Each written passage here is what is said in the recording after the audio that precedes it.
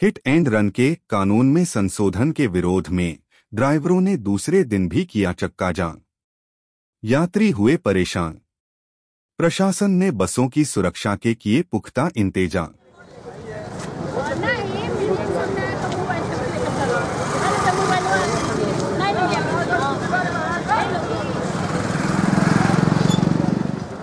अब ये जो एक जनवरी से नया कानून पारित हुआ है ड्राइवरों के लिए कि 10 साल की सजा और सात लाख रुपए अगर कोई दुर्घटना हो जा रही है, उसके बारे में आप लोग क्या कहें सर, हम लोग यही कहना चाह रहे हैं, बताइए, हम लोग पाँच सौ रुपए की नौकरी करने वाले आदमी और पाँच परिवार घर हैं जीने वाले, बताइए गाड़ी हम लोग कहाँ से चलाएँगे? दस लाख कहाँ से देंगे?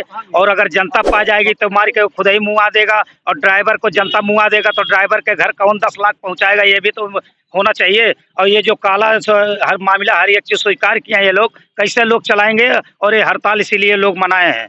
और ये जनता सब परेशान है कहे के लिए? सबको जाने के लिए, सबको ड्राइवर करने के लिए शौक है, लेकिन कहाँ से लोग, जब सारा चीज़ एकदम बीमारी है, यही सब लाद दे रहे हैं तो कहाँ से हम लोग करेंगे भैया गाड़ी, चलाएँगे? आप ही बताइए आखिर में। सभी लोग बताइए, हम लोग कहाँ से चलाएँगे? पाँच सौ रुपये नौकरी करने वाले, और सात आठ हज़ार छः हज़ार हम लोग खुद ही महीने खा जाते हैं। पाँच सात हज़ार बच्चा है, बचता है तो वो घर परिवार, बीवी बच्चों में जाता है। भाड़ा रूम किराया पे रूम लेके छह साल से हैं, उनका किराया भाड़ा हम कहाँ से देंगे? हम जब जेलिए में बंद हो जाएँगे। हम लोग इसीलिए एकदम परेशान है आप तीन दिन से। और सब एकदम जान पे लगे रहते हैं हमेशा दूसरा दिन है तो दूसरा दिन में कुछ समस्या का एक काला कानून जो लागू किए हैं ये चीज़ को वापस लिया जाए तो हम लोग एकदम तैयार है चलाने के लिए। हमेशा के लिए गाड़ी चलाने के लिए तैयार हैं लेकिन ये जो लागू का दस लाख है और दस साल की सजा भी किए हैं इसको वापस ले लें। हम लोग एकदम तैयार हैं गाड़ी चलाने के लिए। कोई दिक्कत नहीं है हम लोगों से। आज दूसरा दिन है तो क्या कुछ ऐसा कुछ आप लोग को दिख रहा है कि कुछ समस्या का समाधान निकलता हुआ दिख रहा नहीं अभी तक कोई समस्या का समाधान नहीं निकल पा रहा है। लेकिन लेकिन अधिकारी लोग ज़बरदस्ती बुला बुला के कह रहे हैं गाड़ी चलाइए रोड पर ले जाइए और नहीं तो गाड़ी बाहर डिपो से बाहर निकाल ले जाइए। अब बताइए हम लोग सर कहाँ पे गाड़ी ले जाए कहाँ खड़ा करें? इतनी बड़ी गाड़ी है सर। अब आप ही लोग बताइए क्या करेंगे हम लोग? या तो जनता पा जाएगी तो मार के मुआ देगी और पुलिस वाले पा जाएँगे तो जेल में ढकेल देंगे। हमारे घर के बीवी बच्चे परिवार क्या करेंगे लड़के बच्चे? बताइए हम लोग कहाँ जाए? अधिकारी लोग प्रेस कर रहे हैं हमारे वाहन स्वामी को। वाहन स्वामी प्रेस कर रहे हैं हमको। गाड़ी लेके आइए वहाँ देखिए खड़ी है शताब्दी एक्सप्रेस मेरी। गाड़ी खड़ी है कह रहे हैं गाड़ी लगाइए लेके लखनऊ जाइए। क्यों हम जाएँ अगर? डेढ़ सौ गाड़ियाँ खड़ी हैं तो हम ही उसमें हीरो बनने वाले आए। हम ही सबसे बड़े योद्धा हैं। क्यों जाएँ? आप अपनी गाड़ी पहले भेजिए उसके बाद भेजेंगे। हम आर साहब को आर साहब को दोनों को संदेश देना चाहते हैं। अपनी गाड़ी पहले भेजें हम ना पीछे जाए हम पीछे हटे या नहीं जाए तो बात अलग ये सुरक्षा सुरक्षा के दौर पे ये किया जाए हमारे ड्राइवर भी कह रहे हैं जो है चलने के लिए। वो जैसे एस डी एम साहब भी आए थे हमारे ड्राइवर ये कह रहे कि हमको सुरक्षा दी जाए। जैसे रास्ते में कुछ लोग मारपीट कर रहे हैं मार हैं गाड़ी फोट पूछ रहे हैं तो हमारे ड्राइवर और परिचालक जो भी हैं वो कह रहे हैं हमको सुरक्षा दी जाए। कहने का मतलब ड्राइवर परिचालक ये चाहते हैं साथ में कोई सुरक्षा सुरक्षा मिलनी चाहिए। हम सुरक्षा है तो हम हमारे ये भी तो किसी घर के बाल बच्चे हैं इनको घर गंतव्य तक पहुँचाने के लिए हमें कोई वो नहीं है। लेकिन हमको सुरक्षा मिलनी चाहिए। हमारे हम मेरे भी बाल बच्चे हैं। हम भी कहीं घर दरवाजे जाएँगे। हमारे साथ कोई दुर्घटना घट जाए तो मैं क्या करूँगा?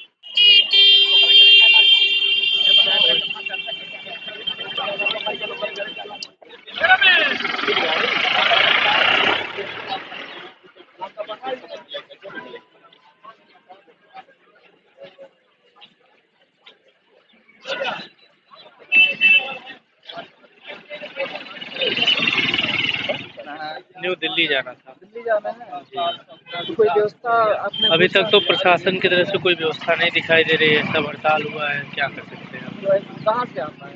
मैं गोला बाज़ार से आया हूँ। यहाँ कोई गाड़ी साधन जा रही नहीं रही। हम लोग की जाए हम लोग पर हम लोग सुबह से यहाँ पे खड़े हैं। कई जगह समस्या है। कई जगह निश्चित नहीं है लेकिन कई जगह समस्या है। किसी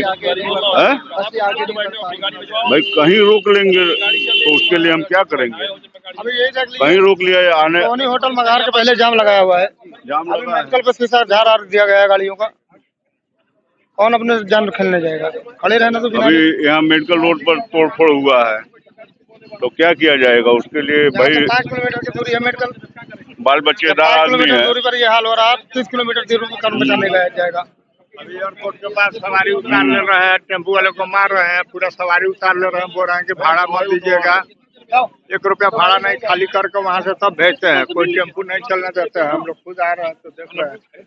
एक रुपया भाड़ा भी नहीं देने देते तो हैं। ऐसे कब तक काम चलेगा ये जब तक सरकार अपना फैसला नहीं वापस सरकार अपना फैसला वापस नहीं लेगी तब ड्राइवर नहीं भरेगा नहीं नहीं यहाँ आएगी पुलिस सवारी इनको एक एक कांस्टेबल लेगी बस में बैठाने के लिए कह रहे हैं कि सर सर पास पास तो मैं गाँव तो तो सर जगह जगह हवा निकाल दे रहे हैं है टेंपो वाले सर एक बस की सवारी पा जा रहे हैं पाँच अपने कुछ चौकी के कांस्टेबल वगैरह लेके आइए यहाँ पे रोड बस स्टैंड पे अपना अपना बसें लेके रवाना होंगे तो कम से कम बाद पूरा। हाँ नहीं ये चलाना चाहते हैं ऑटो वाले को चलाना चाहते हैं ड्राइवर चलाना लेकिन जाए आपकी गाड़ी कहाँ है लगवाइए लगवाइए लगवाइए लगवाइए कोई दिक्कत नहीं है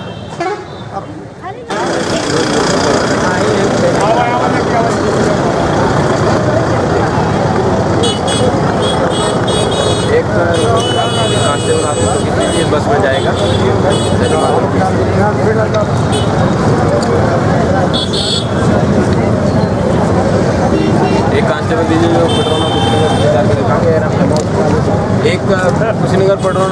más seguro.